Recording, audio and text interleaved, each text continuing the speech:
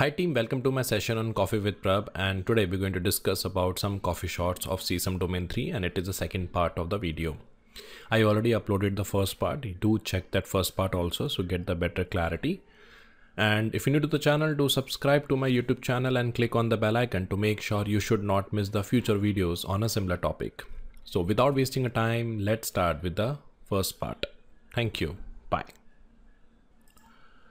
Okay, so first question is enterprise is planning to migrate its services to third party cloud. What is the most effective way to measure governance of the cloud? It means we have an enterprise here and they want to migrate the services on the cloud. So what is the best way to manage the governance? Option A and to an audit, which makes sense, which include the different type of results we can basically ask for just by doing a pt we can able to see the visibility about how secure is the application but in some cases it will not the client will not the service provider will not allow you to do the pt in some case they allow the va but va will only give the high level visibility about the technical things.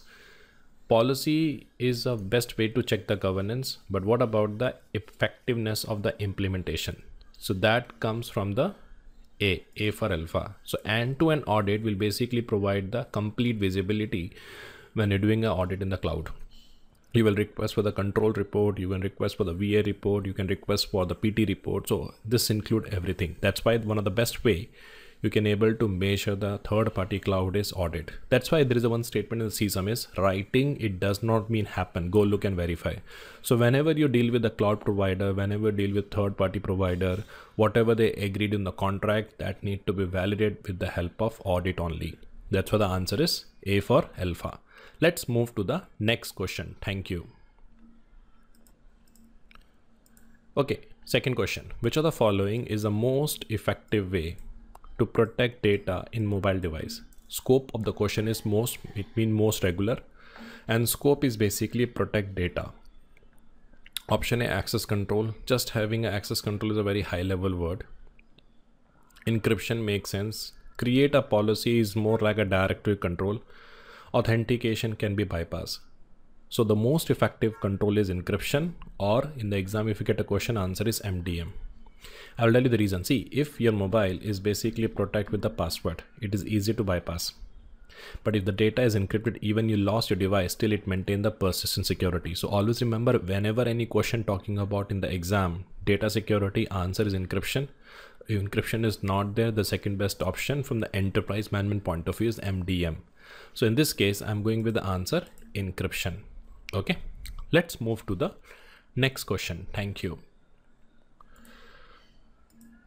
Okay, so in which stage of SDLC security must be considered? Option A functional requirement, but functional requirement is the second stage. The first stage is initiation where we having a meeting with the customer. And based on that, we document the functional requirement. Development will become more uh, uh, more late because before development we have a design, we have a requirement. So any kind of a changes we need in development first, we need to do changes in the function and uh, design requirement Design is basically fair we design the security, but that is based on the function requirement. So only option which is close is D because we as according to the best practice, security should be introduced as early as possible. Okay, that's what the answer is D. If D is not there, then A. If A is not there, then C. If C is not there, then only option left is B. Because if we go by the SDLC, First step is basically called as a initiation. Based on that, we have a function requirement, then we design and then we developed and then we deploy. So make sure you should introduce the security as early as possible. If you fail to interpret the security requirement in the phase one, then you move to phase two and according to that, you will proceed with the phase two. Might be based on a phase two we design. But tomorrow, if you say, okay, we need to add security function first, we need to go to function requirement, we need to modify the requirement and then come to the design. So that's why we say security should introduce as early as possible in the organization. That's why we went with the D as an answer. Let's move to the next question. Thank you. Okay. Which of the following is the most effective way to measure the security training and awareness program? Most is a keyword mean most regular. Okay. So option A, post training increase in the number of incident report post training decrease in the number of incident reports. See during a awareness training we basically guide them. If you find this kind of symptoms report the incident. If you find this kind of a symptoms report the incident. So before training it was a 50 incidents. And after training and awareness we have reported 70 which is a good thing. It means people are more aware about the things. The thin line difference in training and awareness is training modify the skill where awareness modify the behavior post training decrease in number of incident report it's a concern so be removed comply with the policy is just a normal thing but that is not how we can able to measure the effectiveness number of secure training material created but what about how we basically perceive so always remember one of the best way to measure the security awareness training is increase in the number of incident report and decrease in a security violation. So in this case, the most close option is basically A. So let's move to the next question. Thank you. Very good question. Which of the following is most essential to create when managing complex solution and process scope here is managing complex security policy is the high level statement it is the intent of the management okay it is not introducing to manage the complexity because complex solution process come in the operation level and policy is just a high level statement yes security architecture makes sense because it is a framework which is used to organize and manage all the building blocks. Makes sense. Standard is a tool by which we implement the requirement. We don't create a management sponsorship. Definitely the most successful metrics we required for running a complex solution is sponsorship because they are the one who approve the budget. But question is only talking about essential to create and the question talking about from a operation point of view mean complex solutions and process so always introduce whenever there is a complex solutions complex process we have we need to interrelate that and that can be done with the help of security architecture so that is why we're going with the answer is B for beta. Let me give an example how the architecture is basically used in the organization. Now suppose this is basically your current state state okay and uh, you don't have a very good food habits. You don't go to gym. You just continuously work and all that. And your desire state you want to go for a 10 kilometer marathon. So you want to go for 10 kilometer marathon. Now question is for 10 kilometer marathon you need to go to gym first. You need to have a running practice. You need to have a nutrition. So this is the complexity 1 complexity 2 and complexity 3 we need to organize this in a particular sequence and that is why we're creating a workout plan. And that workout plan in which we organize everything. First i will go to gym then i will go for run and then i have a nutrition. So we have organized our complexity in a form of block. And that concept is called as a workout plan. And the workout plan in this case is called as an architecture. Same like in the company we have a multiple processes. We have a multiple practices. So we need to integrate all the process and practice so we organize them in a form of building blocks and that comes under the architecture that's why the answer is b is it clear let's move to the next part thank you so question is which of the following is the most secure mechanism by which you can secure the wireless network. See, password is a very generic thing. So we have a system A, we have a system B, they enter the same password and same password sent over the network. Another name of the password is also called as a shared key. So C and D removed. WEP is basically introduce a key size of 64 in which 40 bit is the key and 24 bit is the IV. But one concern with WEP, it is easy to break the pattern because after 5000 packet 24-bit IV is basically repeat. So more secure than WEP is basically WPA because here the key size is 128 in which 80 bit is the key size and 48 bit is the IV value. So overall the key size is WPA. So WPA is basically more secure. But if you get a question WEP, WPA, WPA2, then WPA2 is basically more secure. Let's move to the next coffee shot. Thank you. Okay, what is the main goal of information security awareness and training in the enterprise? The question talking main goal, it mean ultimate goal. See, when we conducting awareness program, our objective is to make sure, you know, the responsibility toward the security because ultimately the responsibility security lies with the people. Accountability lies with the senior management but responsibility lies with the people. So we need to just clarify what you carry a responsibility in the organization from security point of view and what we carry as a custodian of security from the organization point of view. So option a communicate what people responsibility toward the security makes sense to prepare student for certification not necessary. Every training and awareness we prepare for certification. To comply with the organization policy yeah, it, it is just like obtaining a certificate reports and all that but that is not a main goal. Inform people about new threats definitely true but d is basically part of the a. By informing people about new threat and issue we make them aware about their responsibility toward the organization that's why the answer is a for alpha. Now recently there is a threat is happening is lot of people receiving a whatsapp call. That is a perfect example. So i'm we are just in awareness workshop we explaining them about this new threat by which they take the responsibility from a security point of view what they need to do. Their responsibility is that if they found something suspicious report the incident to the management report the incident to the incident management team. That's why the answer is a for alpha. Let's start with the next part. Thank you very good question who will be in the best position to define the level of access and security of information for the business. See, system designer is the one only design the things to build the systems. Data custodian will manage the data. Data owner is the one who define the access. Now let's take an example. We have a infosec train.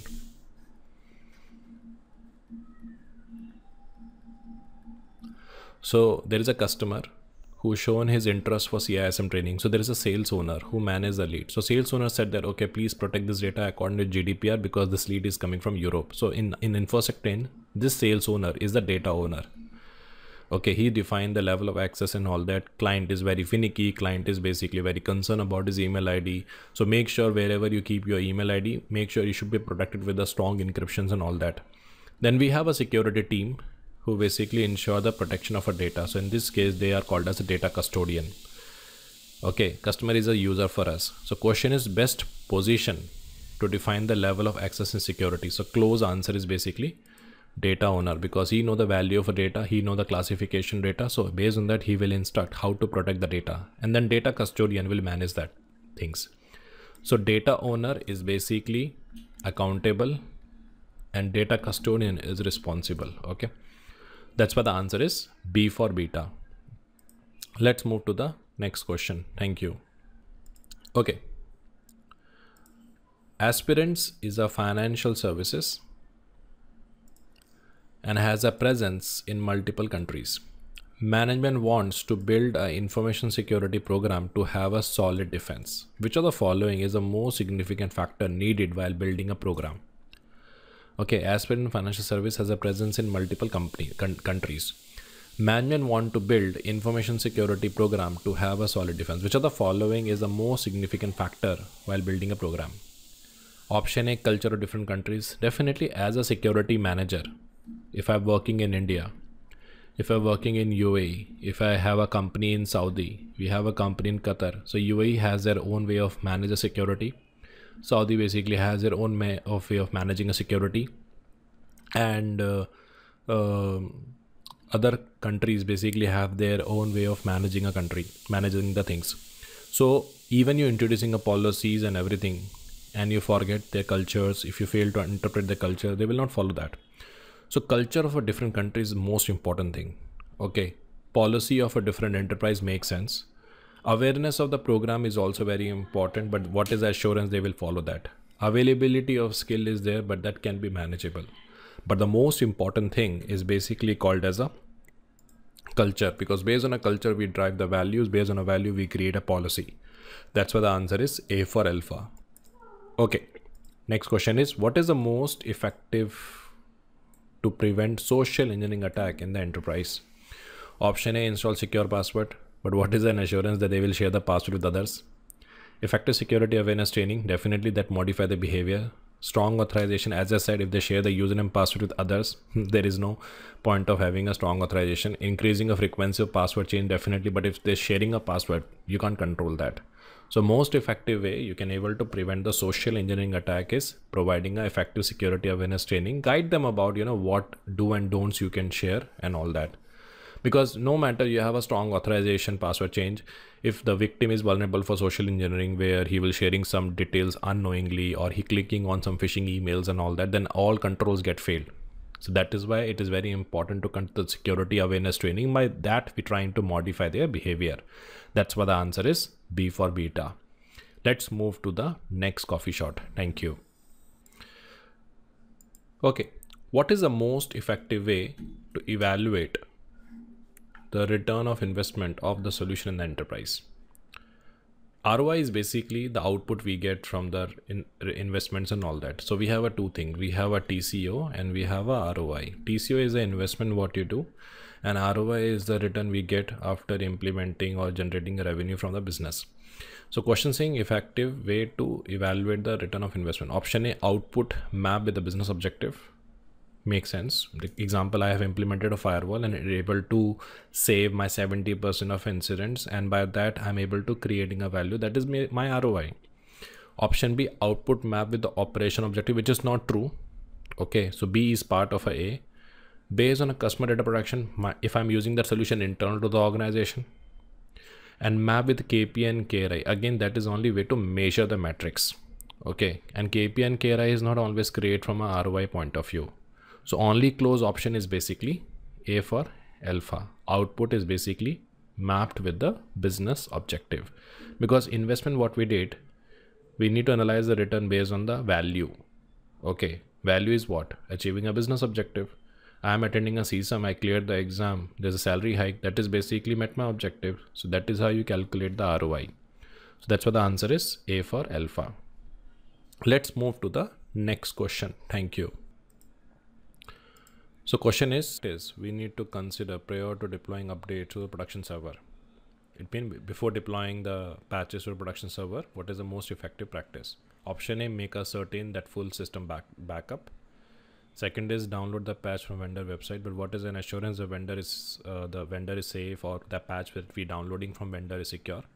Deploy updates in a stages definitely. If it's a complex environment, confirm the update meet the user objective that's most important thing. But before we deploying any kind of an update we have to take a backup of the systems. Because tomorrow if the backup get failed even you deploy it in a stages if it failed then we need to roll back. So if you don't take a backup you might lose your previous data. So always remember one thing whenever you're deploying any kind of an update to production server first take a backup. Okay? So that is all from my side team. Do let me know how do you find this video. And uh, based on that feedback and all that i'm planning to create a domain 4 video also okay? So this is all from my side. Thank you for watching my video and thanks for trusting Prabh Nair and their content. Take care. Bye